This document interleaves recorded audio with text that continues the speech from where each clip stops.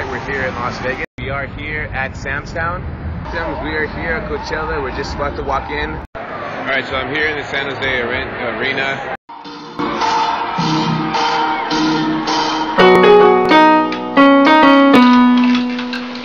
Hello, my name is Jonathan Belle. I'm 24 years old. I'm from Torrance, California. I'm here to show you Spin Earth why I'm the number one Killers fan.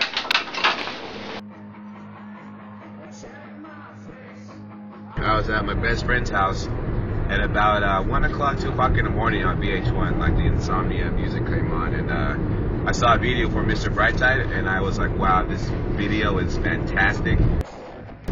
I never heard uh, somebody told me on the radio because uh, back then all I used was my MP3 player or my uh, iPod at the time.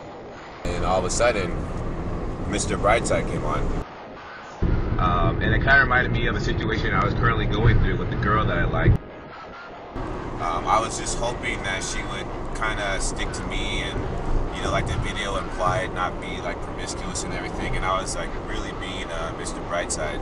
So uh, the video is like fantastic, and after I saw it, um, I made sure to get the name of the artist. And anyway, I went out and got the CD, and ever since uh, Jenny was a friend of mine with the helicopter sound, the sirens coming on in the beginning, I was like, wow, this uh, this CD is gonna be awesome.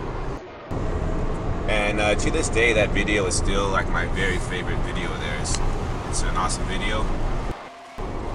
So that's pretty much how I started up liking the Killers.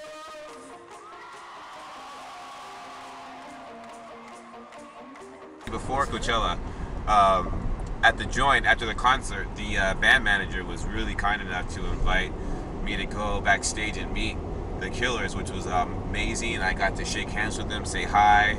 Actually, ended up talking to Dave, the lead guitarist, for a little bit, which was uh, so amazing. That's a conversation I will I will never, ever, ever forget. So do you write lyrics too, or is it only just No, he, he's, he's picky about that. He only, we all help write the music. He writes the lyrics. Which I, I don't know. Oh, you're the lead guitarist. Is that a- Yeah. I mean, I, I don't know. I guess it's a bigger deal than what I was aware of. We write the songs Oh, and yeah. practice usually together, or somebody comes I into just the said band and that, practice. uh, The lyrics are That, last. I told you, I told her what you said, Fuck, but I man. remember that he was Uh, amazing. Sometimes he likes Then he sings cleaned up, and I even told him that he was melody totally to sexy. get an idea of stuff, or just, What did you do? and then he writes the lyrics in the studio. Like, Well, was that for- I'm trying to remember for, the- uh, or was for that just every for single Yeah. song. Because privately I told her. did DNA, right? She told Yeah. me. So was He it the told same Tyler. money with Don't him worry, as top of hat, other hold that. People, Hate or it. it's like And I've been was saying It's that stretchy so long. pants first that come down Yeah, around here. Um, No, no, You know? what, So he's what pretty about the good. horsey thing now? That's just how He it was is. so What about the he like man? button down, We, we could try and do it another Probably looks great. Brandon He looks fantastic, and he cut his hair. um, It looks amazing. than He's, like, I've I been, know. You got a great I've drummer too. picky been or requested by him for like years. She's cool. And, We and do, now it shows my We do. You know uh, Stacey? Oh, Andy's? Andy's? He produced the uh, Low versus Iron record. All right. Well, keep in touch. I'm over It's there. annoyingly last just minute at we just spent times. a day with Sometimes him we're waiting Bill. for the He's studio really hours awesome. while the music Yeah. is just sitting Who's there. funny. You're like, I already got my part done. Yeah. Put some words together, please. He still hasn't finished lyrics on some. And because of the Killers fan site, The Victims, I was surprised actually how many people knew I had won this uh, contest. It was pretty cool. I felt uh, really honored that people, uh, there are a lot of people that, you know, paid attention to the contest and that there's so many uh, Victors, Victims fans out there. It's uh, pretty awesome. Uh, what's your name? Don. We're here with Don. He actually got the cymbal. Tell him about this. Why you can't tell him? Yeah, Ronnie. Ronnie gave him the cymbal at the end of the show. He's thrown a lot of drumsticks my way, and I've never been able to keep my hands on any of them, so he knew I could catch these. That is awesome. You got a cymbal from his drum. There you go. Uh, this whole experience has been really great. Uh, I would have never have imagined myself uh, being able to see the Killers three times in a row.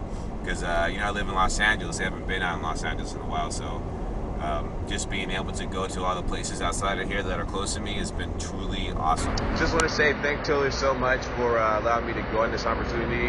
Uh, thank you, uh, management for the Killers. You know, you guys have been great helping us out this whole trip. And I also want to thank Nurse so much for even uh, throwing this contest in the first place. It's an awesome, it's been an awesome experience. Um, well, my flight should be leaving pretty soon, so I got some uh, really detailed writing to do for you fellow uh, Killers and Victims fans. Uh, stay tuned to Spin Earth, and you'll see some more stuff.